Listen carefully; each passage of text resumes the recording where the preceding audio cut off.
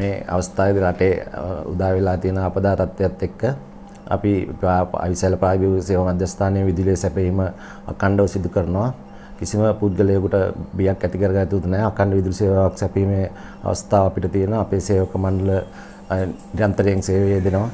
මේ කාලය මේ කාලගුණ තත්ත්වයත් එක්ක බිඳ වැටුම් අඩු මට්ටමක පවතින්නේ. ඒකින්ද ලොකු ගැටලුවක් ඇති වෙන්නේ නැහැ. මොකක් හරි විදුලියට ආපදාවක් ඉදුණොත් අපේ තව මේ වැඩ කණ්ඩායම් ගෙන්නලා යථාර්ථයට පත් කරනවා හැකි ඉක්මනින්. ඒකට අපේ විදුලි ඉංජිනේරුතුමත් නිතරම අවධානයෙන් පසු වෙන්නේ. විදුලිය සැපීම ගැන කිසිම බියක් ඇති යුතු නෑ කාට කිසිම පුද්ගලයෙකුට මේ අවස්ථාවේදී. අපි අකණ්ඩව මේ දේ කරගෙන යනවා. තියෙන කාලගුණ තත්ත්වයත් එක්ක බිඳ වැටුම් වැඩි ප්‍රමාණයක් ඇති වෙන්න හැකියාවකුත් නැහැ. මොකද ලොකු ලොකු පෑවිල්ලක් තියෙන්නේ. විදුලිය සම්බන්ධ කිසිම ගැටලුවක් ඇති වෙන්නේ නැහැ කිසිම පුද්ගලයෙකුට මේ වෙනකොට.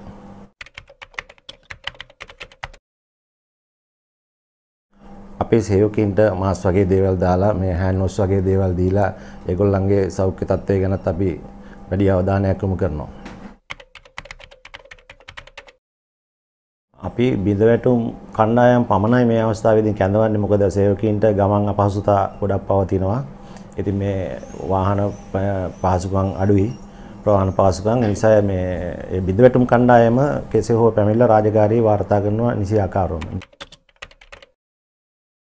විශාල බිඳවැටුම් වාර්තා වුණේ කුඩා ගෙවල් වල වගේ විදුලිය නැති ඒවල් වගේ තමයි ඇති වුණේ. රසාවත් එක්ක විශාල බිඳවැටුම් බලාපොරොත්තු වෙන්න පුළුවන් මොකද හුලං වගේ හැමලා තමයි වහින්නේ මේ දවස්වල වහිනකොට ඉතින් හුලං නිසා ගස් කැඩ කඩා වැටීමේ වගේ තමයි බිඳවැටුම් ඇති වෙන්න පුළුවන්.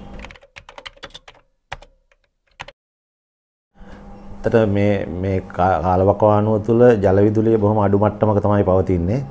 අපි ඩීසල් උපයෝගී කරගෙන තමයි ගොඩක් විදුලිය නිපදවන්නේ. ඒ නිසා පුළුවන් තරම් අර පරිස්සම විදුලිය පරිහරණය කරන්න කියලා තමයි කියලා දෙන්නේ. කියන්න ඕනේ පාරවල් වල ලයිට් නිමලා දාන්න, ගෙවල් වලත් අනවශ්‍ය විදුලි බඹුළු නිමලා දාලා මේ පුළුවන් තරම් පරිස්සම් කරන්න තමයි ඕනේ. ඒක මේ පාරිභෝගික වශයෙන් ඒගොල්ලන්ටත් ලොකු ඉතිරියක් වෙනවා බිලෙන්. රජයක් වශයෙන් උත් ලොකු ඉතිරියක් රටට ඇති වෙනවා. විදුලි බිල් ගෙවීමේදී පොඩි ප්‍රමාදයක් වුණාට ඒක නොසලකා හරින්න තමයි තීරණයක් අරන් තියෙන හරියටම ඒක කැසට් කරලා මේවා කරලා ලෙවල් නැහැ තාම බිල් නොගැවීම මත විදුලි සිඳලීමක් සිදු වෙන්නේ නැහැ මේ දිනවල. ඔවුන් පැවසූ ආකාරයටම විදුලි පරිභෝජනයේදී මහජනතාව අනිසි බියක් සැකක් තොරව එය පරිභෝජනය කළ හැකි වනු ඇතයි අපගේ විශ්වාසය.